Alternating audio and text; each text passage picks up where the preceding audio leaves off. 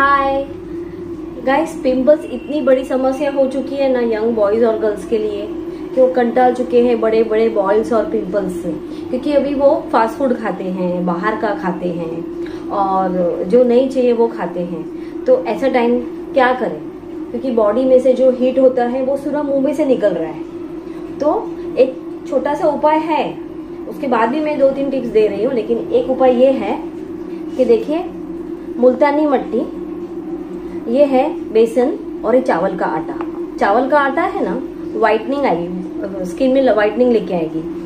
जो बेसन है ना, वो क्लीनिंग करेगी। मुल्तानी मटी अंदर ठंडक लेके आएगी। और दूध डायरेक्ट डालते हैं ना तो चिकट होता है। मतलब it is a oily oily होता है। लेकिन मैंने क्या किया है मिल्क का पाउडर डाला है।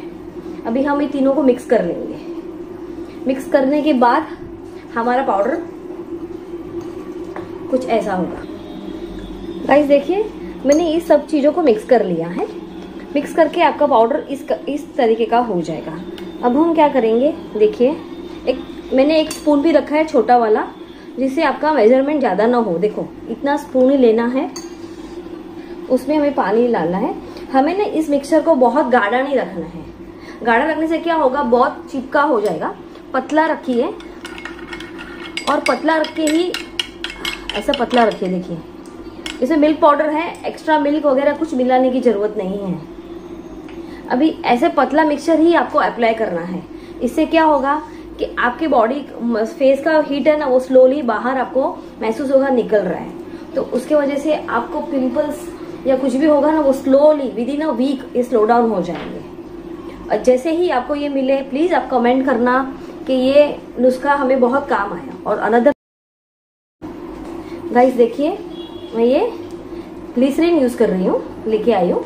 उससे पहले गाइस आपको आपको कोई भी मार्केट की केमिकल वाली आइटम्स यूज़ नहीं करनी है फेस पे।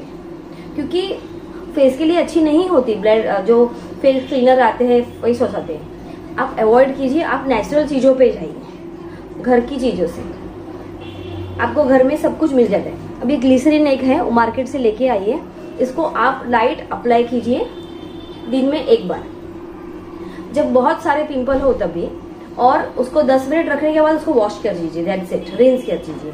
तो इससे भी आपको बहुत बड़े बड़े बॉयल्स हो जाए मुँह पे, या बहुत बड़े बड़े पिंपल हो रहे हैं, कपाल यानी कपाल पे यानी फोरहेड पे हो रहे हैं तो आप इससे आप, आपको ये एक रेमेडी भी बहुत काम आने वाली है।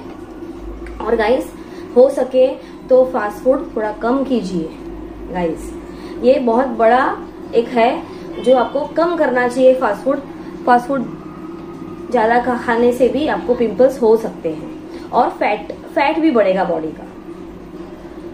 ओके गाइस तो हम, अगर आपको मेरे ये सिंपल से टिप्स पसंद आई हो वीडियो टिप तो प्लीज़ गाइस कमेंट करना।